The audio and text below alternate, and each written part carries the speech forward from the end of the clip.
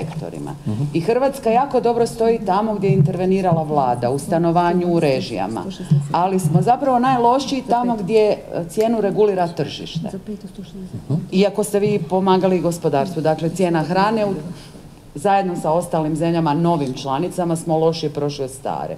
Cijena odjeće, drugi smo najgori, najveći rast. E, dakle, sve ono što regulira tržište je raslo više od prosjeka i više od svih starih članica. A sve što regulira vlada, tamo gdje se cijene administrativno određuju, je raslo na donjem dijelu. Znači da se vlada ponaša Dakle, kao da što je stara radi članica. tržište u Hrvatskoj? Nije- znam da će gospodin Mišetić sad reći produktivnost i to, ali nije baš sve tako. Da. Dobro, ja mislim da, da ste vi razumjeli, razumjeli dakle da mi interveniramo sa jednim jedinim ciljem, a cilj je da građani i gospodarstvo u ovoj situaciji kada država stoji uz njih, istače uz njih, istajače uz njih, čini poteze koji su korisni i dobri za sve. Ovakva kriza ovakvih mega razmjera koja sad već jako dugo traje, jer možemo podsjetiti ipak da smo mi kroz covid krizu, kroz energetsku krizu, kroz prehrambenu krizu, inflatorne pritiske sada već u stanju kriznog interveniranja gotovo tri godine.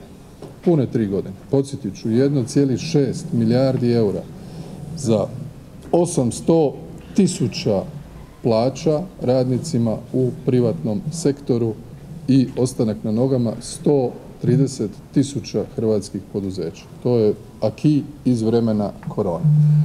O ovome što smo učinili prošle godine 3,6 milijardi pa onda i rast gospodarski od 6,3% se dogodio kombinacijom svih tih mjera i snaženjem našega ne samo međunarodnog položaja nego prije svega ekonomskog i financijskog položaja.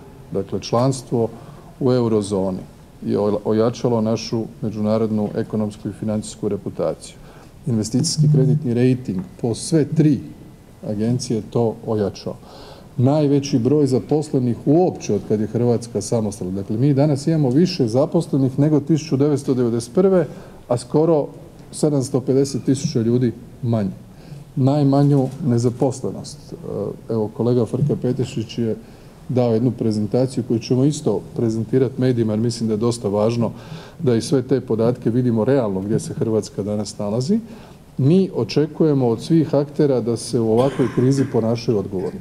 Dakle, ako se koriste subvencije, pa je li to trošak cijena energenata, je li to trošak cijena goriva, je li to smanjenje stopa poreza, PDV-a, beskamatnih zajmova, različitih načina kako da svi ostanu na nogama, za stolom, premoste krizu, onda svi trebaju dati doprinos. A mi ne možemo baš kao država intervenirati u sve. Onda ćemo skroz prijeći na, na dirigirano dogovorno gospodarstvo, a to nije bio cilj 90. Imamo godine. li mi konkurenciju